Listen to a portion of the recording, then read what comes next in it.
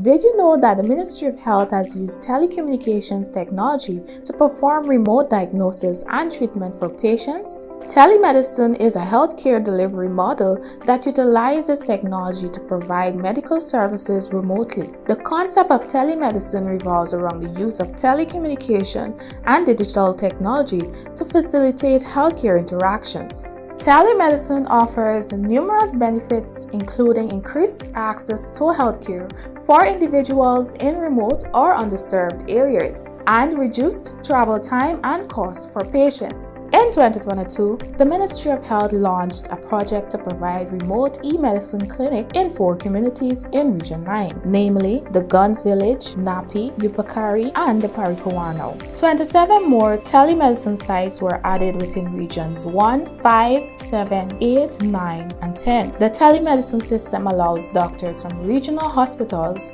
to examine the patient's ears, eyes, and mouth via a webcam. It also allows the doctor to hear the patient's heartbeat and view their ECGs and ultrasound findings to make a diagnosis. All telemedicine sites are operated by community health workers, with the exception of Barometer, which is overseen by a doctor. Baramia, Kariabo, Hururu, and Malali, each of which is managed by a midwife. Together, they collaborate with a pool of online doctors to assist patients' medical condition and prescribe the best care and treatment options. The Telemedicine Command Center is located at the Ministry of Health's headquarters on It is staffed with highly trained personnel who are responsible for remote monitoring, virtual consultation, telemedicine training, emergency response system, legal compliance, and the geographic information system.